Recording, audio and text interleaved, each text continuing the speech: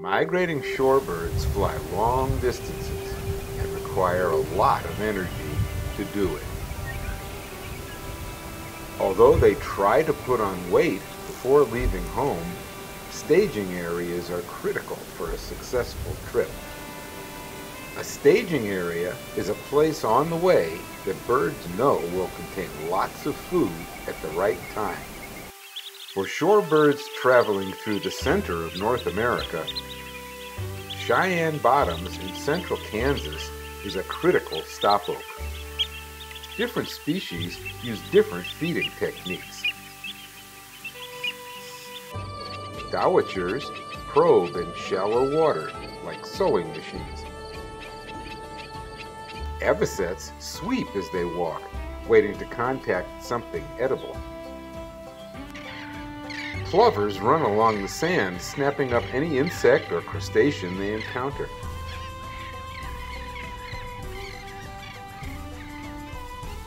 Godwits probe deep, searching for aquatic worms.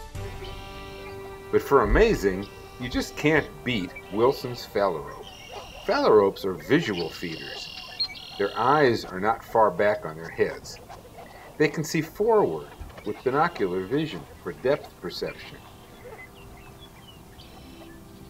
They will eat walking, but prefer to swim in still water where they famously spin round and round, flushing food from the bottom.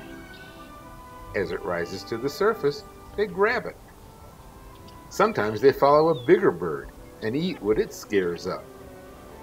And they love crane flies and brine flies, which are already at the surface. All that's fine, but do you notice something unusual?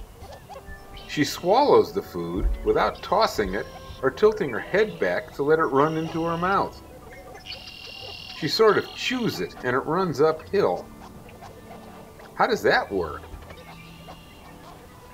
The answer came in 2008 from researchers at MIT.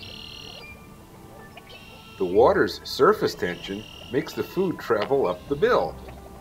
It's called the capillary ratchet.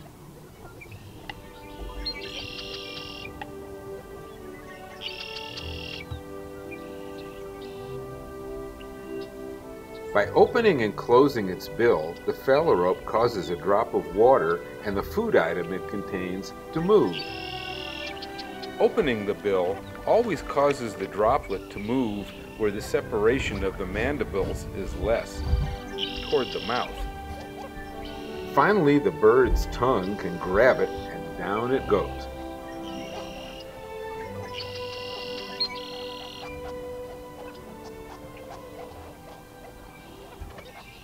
Other species with longish bills may do this too, like dunlin and snipe. The godwits are just a little different. Not depending on surface tension for the larger morsels they capture, godwits toss and grab, moving their heads forward to reacquire the food until it's close enough to swallow.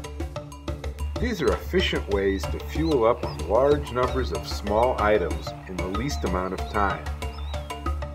And time is something a shorebird migrating thousands of miles in a few weeks doesn't have to waste.